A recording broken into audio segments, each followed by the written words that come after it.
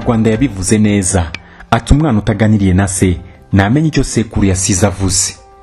Dusubiye inyuma gatoya. Uyu mugani cyangwa se ibi byavuzwe ntabwo ari kure y'ukuri ni ukuri ijana ku rindi.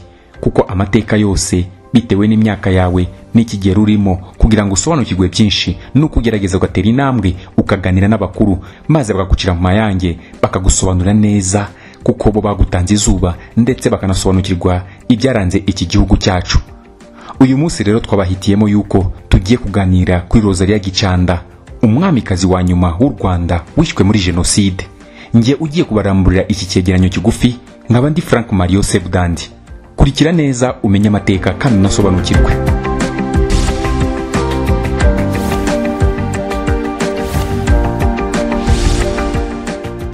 Rozariya gicanda wishwe muri jenoside yakorewe abatutsi akikirwa mu cyahoze ari perefegitura ya butare. Niwe mwamikazi wa nyuma u rwanda rwagize mu mateka yarwo. Akaba yari umugore w'umwami mutara wa gatatu rudahigwa. Nta wundi mwamikazi wabayeho nyuma ye. Kuko umwami kigeri wa gatanu ndahindurwa wabaye umwami wa nyuma w'u rwanda atigeze ashaka ndetse yatanze ari ingaragu ku myaka mirongo inani y'amavuko. Gicanda rozariya yavukiye i rwamagana mu mwaka w'igihumbi kimwe magana cyenda makumyabiri n'umunani.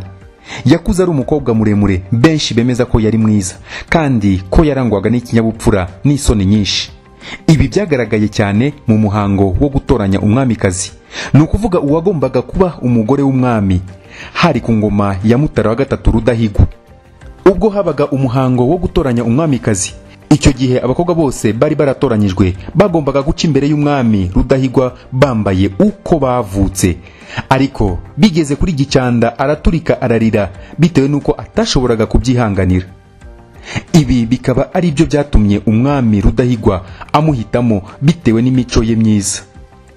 Tariki ya cumi na gatatu mutarama igihumbi kimwe magana cyenda mirongo ine na kabiri ni bwo rozariya gicanda yashyingiranywe n'umwami mutara wa gatatu rudahigwa. Waje kubatizwa agahabwa izina rya charles leo pierre bakoze ubukwe bashyingiranywa imbere y'imana. Cyane ko icyo gihe umwami mutara wa gatatu rudahigwa yari yaremeye kureka imigenzo y'imyemerere gakondo. Akabatizwa agahabwa izina rya charles leo pierre ndetse u rwanda akarutura kristo umwami. Gicanda rosaria ni we umwamikazi wa nyuma w'u rwanda. Yabaye umugore wa kabiri wa rudahigwa nyuma y'uko uwa mbere ari we nyiramakomari yari yirukanwe. Icyo gihe bamuzizaga ko atabyaraga. Gusa uyu yaje gushyingirwa nyirimbirima mwene nshozamihigo. Babyara abana benshi. Bitangira kuvugwa ko rudahigwa ari we utarabyaraga. Tariki ya makumyabiri na gatanu nyakanga igihumbi kimwe magana cyenda mirongo itanu n'icyenda. Umwami mutara wa gatatu rudahigwa wari warabatijwe charles leo pierre. Yaratanze. Apfa urupfu rutunguranye mu mwaka w'igihumbi kimwe magana cyenda mirongo itandatu na rimwe ubwo hari inkubiri yo gushaka kwimakaza ubutegetsi bwa repubulika. Uwari perezida w'u rwanda icyo gihe gregoire kayibanda yirukanye mu rukari umwamikazi rosalia gicanda mu rwego rwo kuzimanganya burundu ingoma ya cyami n'ibimenyetso byayo. Rosalia gicanda yakomeje kuba mu mujyi wa butare aho yiciwe muri jenoside yakorewe abatutsi afite imyaka mirongo itandatu n'itandatu y'amavuko. Hari ku itariki ya makumyabiri mata igihumbi kimwe magana cyenda mirongo icyenda na kane. Rosalia gicanda yishwe arashwe ku itegeko rya lieutenant pierre bizimana ndetse na dr kageruka wari umuganga mu bitaro bya kaminuza i butare. Bose bahawe amabwiriza na captain ildefonse nzeyimana. Gicanda bamwicanye n'abandi bagore batandatu bari inshuti ze hamwe n'abandi bo mu muryango. Bakaba barabajyanye imbere y'ingoro y'umurage w'amateka y'u rwanda i butare barabarasa umwana w'umukobwa waje kurokoka ni we wasigaye abara inkuru y'urwo uyu mwamikazi nabo bari kumwe bapfuye. Nyuma ya jenoside yakorewe abatutsi mu rwanda lieutenant bizimana pierre n'umusirikare muto witwa aloise mazimaka bahamijwe n'urukiko rwa gisirikare. Icyaha cyo kwica umwamikazi rosalia gicanda.